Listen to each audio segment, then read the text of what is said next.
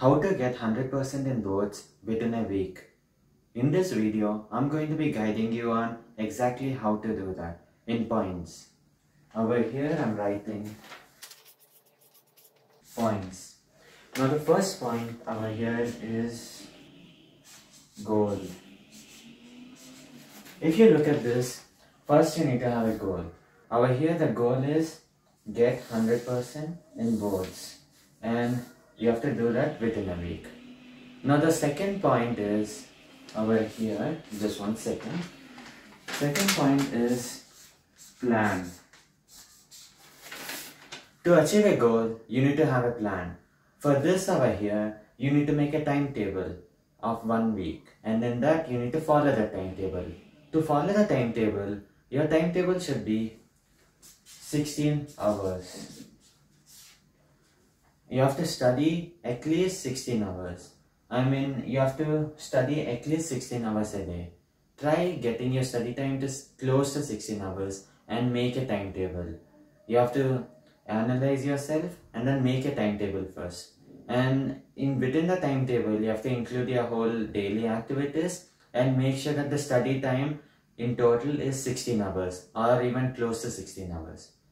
For those who can't make a timetable, I've got you. I'm to be making a timetable for you over here. Can you see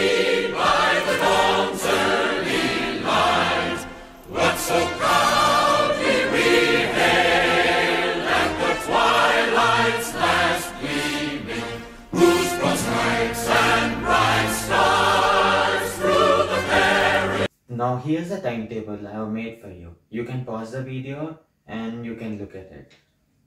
In this timetable, here are the timings and here's what you should do. And at the side, these numbers are the study hours. For example, over here study hours are 3, over here 2. And if you add all the study hours, you're getting this up to 16 hours. And I know this timetable sounds like, you know, you have to study a lot. For example, over here 5 hours continuously. But if you want 100% within a week, you have no other option but to follow this. Or you can even make your own timetable and follow that. But make sure the time you study is close to 16 hours per day. Now coming to the subjects part. First this video is mainly for pcm students okay? Pcm pe and pcmc students. Even biology i mean biology students can also follow this video. You just have to apply the tips i told for maths for biology. And yeah it's possible. Coming to the first subject we have over here that is PE so wait before I come to PE if you are a student of CS that is CS over here there's really nothing. You know how many days are there for CS for board exams you can just be chilling you know before the exam I think they are like more than 10 days I assume so you can cover that at then. So you don't have to worry about CS right now. You have so much time. Now for PE students, okay? Coming to PE students, uh, we have the exam date in like one week, okay? All I'm gonna tell you to do is you have to at least complete one chapter per day. Like make this a habit, okay? Just complete one chapter of PE per day and within one week you can be done. I mean there are more chapters I think, but then yeah, you can cover it up. Last day also you can cover two, three chapters up. And this is YouTube channel, okay? Uh, he explains really well for PE in one shot. I mean, in 30 minutes, one chapter is done. In that way, you can easily cover a PE. I kept the link down in the description so you can go and check it out. And it's very helpful for a PE subject. Now, so that we, PE is done, PE and CS are done, okay? These two are done. Now comes English. We all know we study English we're just before the exam and that's how you should do.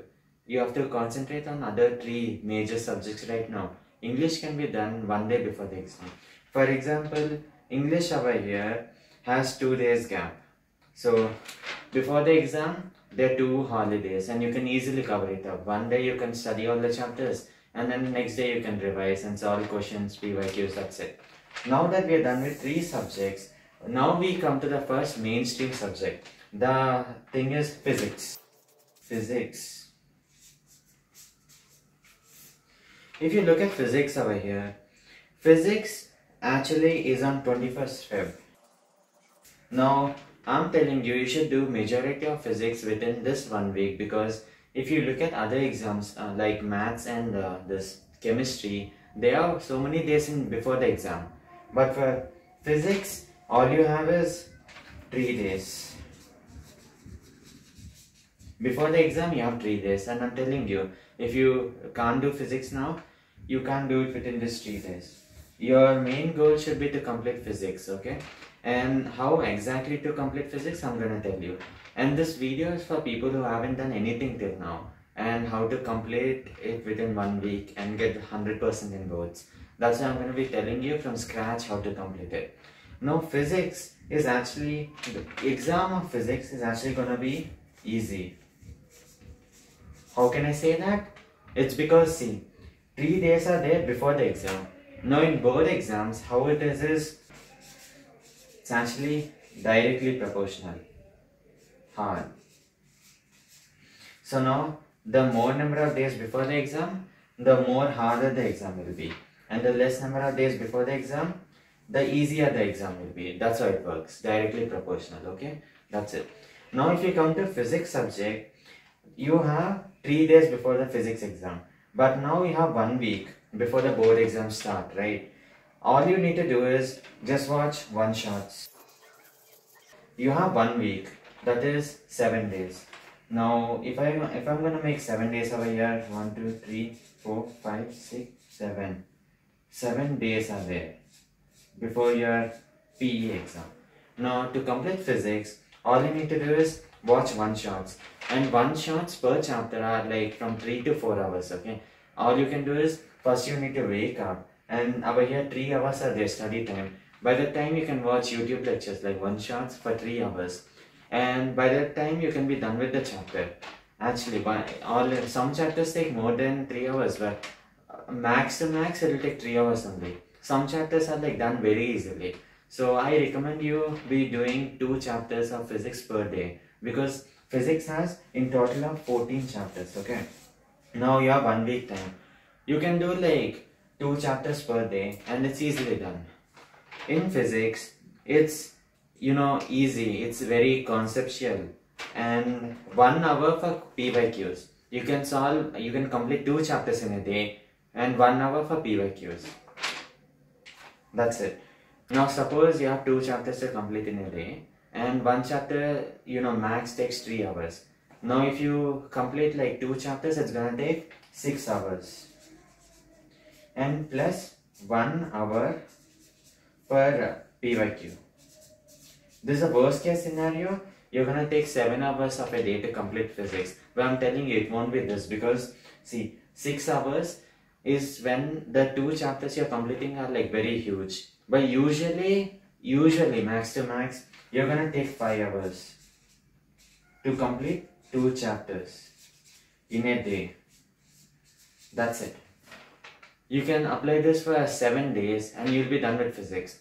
I know the last day is just before PE exam, but you can manage it. You because physics is important. You know, PE you can do it somewhere. If you if you even do one chapter per day, you can complete it. Now that we are done with physics, I'm gonna be coming with chemistry. Now see, physics occupies like let's average this out and let's just say six hours per day. Per day. Now in this timetable, if you take this three hours, two hours, and one hour from here, physics is done. Six hours per day. You just have to follow this and you'll be done with physics for sure. Now, second thing comes chemistry. Sorry for my bad handwriting, but I need to complete this video fast. So, for chemistry, the exam is on 27th Feb. 27th Feb is a chemistry exam. Now, if you look at this, for chemistry, we have like five days. We have five days before 27th Feb, which is actually a good thing. For physics, we only have three days. Five days, meaning I'm telling you, you can use the last two days before chemistry exam for solving PYQs and questions and you know question papers and you can take three days from here three days from this five days you can study. And you know phys- uh, chemistry is be, uh, divided into organic inorganic and physical. Organic has like five chapters okay?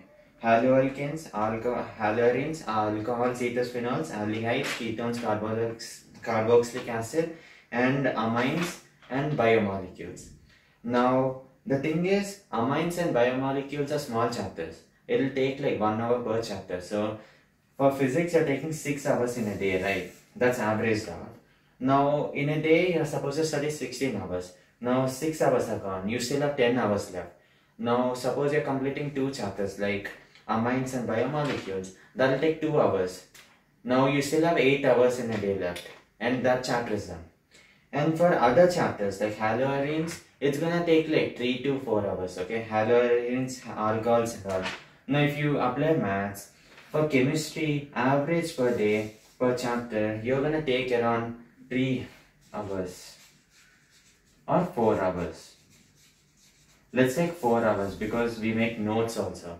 Now if you add this word you you already get 10 hours. 10 hours of a day are done. You still have 6 hours left because see physics 6 hours chemistry 4 hours. In 4 hours you can complete one chapter and you know chemistry only has 10 chapters right now within one week you can complete within one week you can see the days over here within one week you can complete one chapter per day. And by the end of this week you'll be done with se- seven chapters. And before chemistry exam you have three days. In those three days you can complete another three chapters. That means whole 10 chapters are done. And two days for revision are still left. And you can still ace the exam. That's how it works. Now you can follow that one chapter per day trend over here and you can still be done with it. Now since physics and chemistry have occupied 6 hours and 4 hours we have maths. Also i forgot to mention chemistry exam has more number of days before the exam right?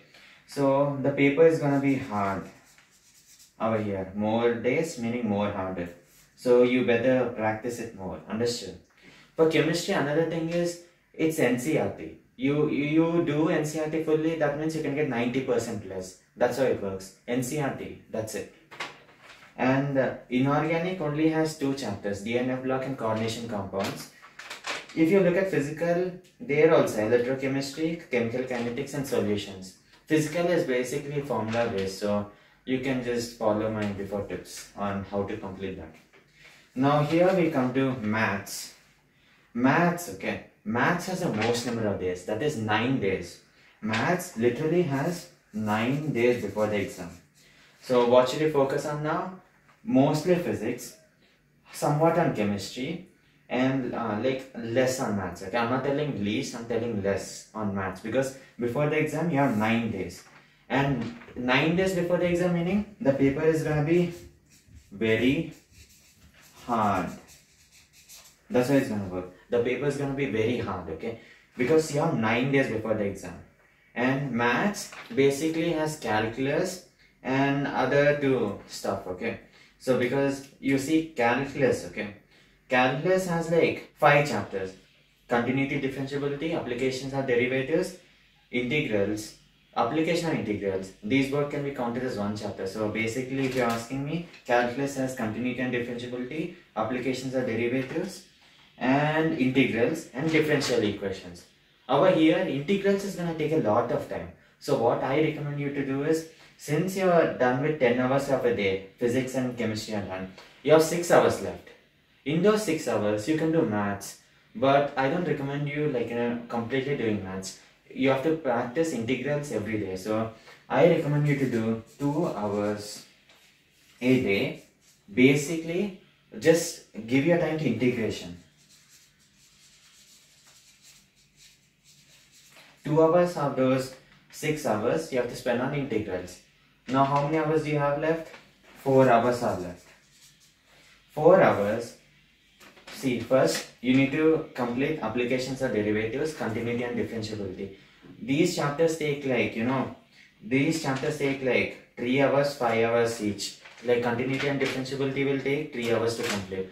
So maybe first day you can complete continuity and differentiability. Second day and third day, you can dedicate it to applications or derivatives and start integral integrals by the third day. Now from third day, every single day, you need to dedicate three hours, I mean, no, two hours to integration. That's it. You have to dedicate that until seven days come. And now before maths exam, you have nine days, right? Last two days, you need to leave them for solving question papers and, you know, just solving test papers, PYQs and everything. How many days are left? Seven days. So maths has other chapters also like relation and functions, inverse trigonometric functions, matrices, determinants, vectors, algebra, 3D geometry and all. All those chapters you can somehow divide them into 7 days because apart from integrals I think apart from integrals everything can be done easily. Only integrals you need more practice understood. So even in these 9 days you need to keep solving integration questions and that's how you can complete maths also. That's it. So if you just follow my tips properly, you can basically do everything and you can ace boards by getting 100% within just one week. And that's how you do it. Coming to the ending of this video, I'm just gonna be summarizing everything. First of all, you need to follow this timetable or make your own timetable to be able to study for 16 hours. Then only this is possible. For PE, CS and English, just before the exam is fine. You can study it PE you can do one chapter per day for this whole week. Understood? Now before the exam you can do two chapters. Now coming to physics. Physics exam you need to watch one shots every day and one shot you can complete two chapters per day and that will take you at maximum of 6 hours including solving PYQs and everything. So you can start off the day 3 hours, 2 hours and 1 hour from here you will be done with physics. Now coming to chemistry. Chemistry you need to spend around 4 hours a day. 4 hours meaning over here 3 hours and from here 1 hour. Like that you can complete physics and chemistry. Chemistry you have to do one chapter per day because before the exam you can complete other 3 chapters. Now coming to maths. Maths you have 9 days. So 2 days you can use them to solve PYQs and question papers and then you have 7 days. 7 days you can complete 7 chapters or more than that. And for now for maths you just need to practice calculus properly. So I recommend you to do uh, out of the other 6 hours you have left, you need to spend 2 hours on integration and 4 hours on completing a new chapter. And this 2 hours you need to spend every single day. From here you need to spend 2 hours on integration for every single day, then you will be done with integration. Even before the exam, in this 9 days you need to solve integration questions. Because once you do integration, even differential equations is easy. And that's how you do everything. That's how you can, you know, complete everything and get 100% in boards within a week. And that's it guys. All the best.